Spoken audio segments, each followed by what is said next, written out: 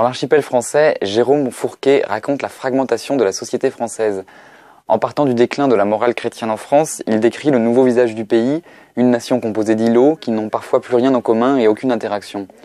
Il revient sur les décennies qui ont tout fait basculer, des vagues migratoires au référendum de 2005 et des attentats de Charlie Hebdo jusqu'à la dernière élection présidentielle et la crise des Gilets jaunes, quintessence de cette fracture.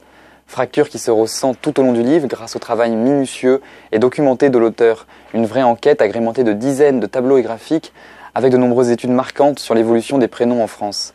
C'est un ouvrage passionnant, didactique et essentiel pour comprendre les perspectives d'évolution qui guettent notre pays.